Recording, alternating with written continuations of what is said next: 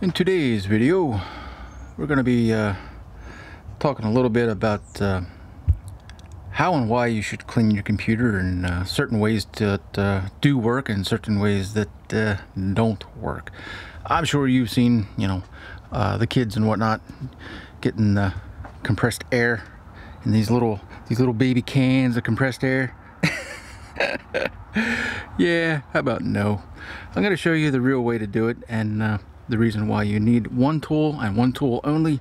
If you buy it once, you live in an apartment, you're going to use it many, many times. So uh, you can get a cheap one and you'll still be uh, well ahead of the game. If you get these little baby cans of air that, well, you're paying for the can. And, you know, air is free. So, uh, whatever. This one is disgusting. I am way overdue for a proper cleaning. And uh, I'm going to show you, uh, I'm going to show you how I do it and how I recommend that all of you guys do it as well. So let me set up here real quick and we're gonna get into it. All right, you got to get yourself one of these. I mean, I don't care who makes it. Just, uh, you know, get something that's about three gallons worth. You know, the bigger the better. The bigger the tank, the, the, the more runtime you'll have. Um, also, the longer the, the pump's going to run to fill that tank. But you got more you got more working uh, working power with a bigger tank. This is a little three gallon, ain't nothing special, and Snap-on does not make it. They just put their logo on it. Uh, I forget who makes this. I did look it up once upon a time, but uh, you need a real air compressor. That's a real can of air right there. And then you just need yourself a blowgun. This is one of those uh, uh, Harbor Harbor Freight versions. Uh, I've been very happy with it. It's got it's a high volume it's got extendable sticks and whatnot and so I mean that's uh, really the the name of the game here. Air compressor blowgun and get yourself a real can of air you know what I mean? All right I'm going to put uh, put you guys on a uh, tripod and yeah we're gonna see what comes out of this thing. I'm betting it's going to be real nasty. Alrighty um, this is going to be 125 pounds of air pressure Gonna make a little bit of noise, so uh, yeah, bear with me here.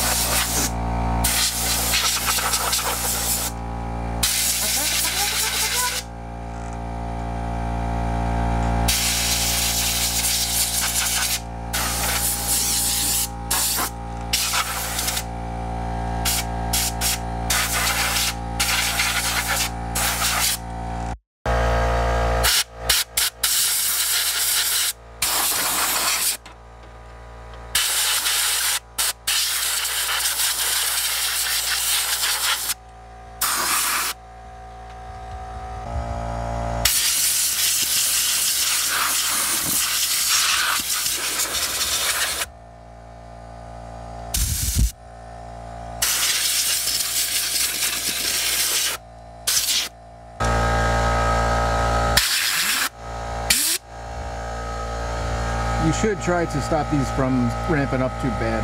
Um, you can do bearing damage. Just put your finger over, you know, over the fan and get in there and, whoops, careful, careful. Hold the fan steady while uh, giving her the beans.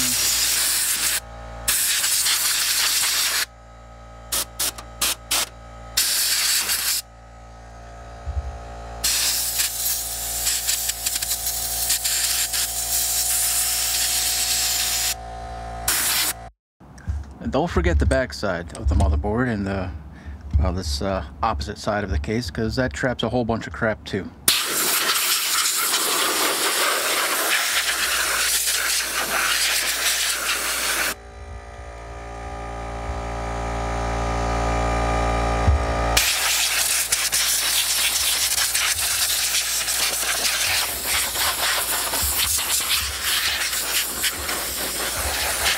Now don't forget the underside where uh, your power supply filters is normally located because uh, they get real nasty too.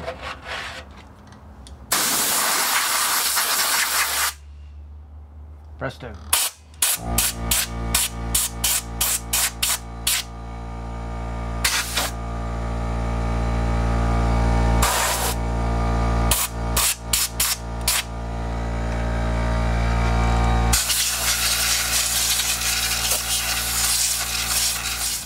Make sure you blow out your graphics card real good in both directions from the inside out, outside in.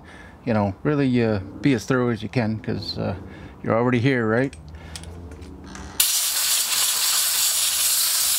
And any unused ports, blow them out.